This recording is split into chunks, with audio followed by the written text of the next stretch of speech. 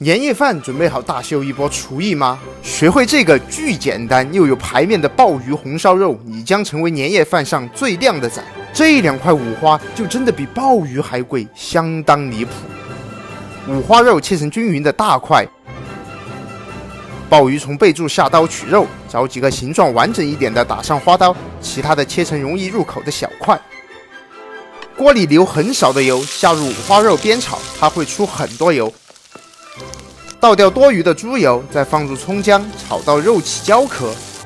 夹出煎香的大葱，找个砂锅垫底，放入一罐啤酒，再放入一袋猪皮清澈、好吃的过分的红烧料，十八块里面居然有六袋。盖上盖，炖一个小时。一个小时后，汤汁会自然收浓，放入鲍鱼，它会自然成芡。转入砂锅，到了最关键的一步，把那两个完整的鲍鱼放在肉上面撑场面。这个鲍鱼还真没有五花肉好吃。